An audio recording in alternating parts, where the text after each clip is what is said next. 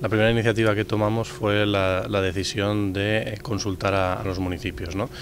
para saber qué necesitaban, porque hay que trabajar en la casa, pero también hay que trabajar con ellos, especialmente con ellos, necesitábamos saber cuáles eran sus necesidades. Así que la primera iniciativa fue hacer un diagnóstico, hablar con ellos, tener reuniones, hacer encuestas y ver qué necesitaban. A partir de ahí se generó una estrategia de la que hablaremos luego, pero ya hemos generado algunos proyectos que hemos estado trabajando. En, en especial, y ahora mismo estamos trabajando con los municipios de menos de mil habitantes, eh, que son los que más necesidades tienen y los que eh, trabajan más con la Diputación porque casi todos sus datos pasan por aquí, por tanto podemos ayudarles más.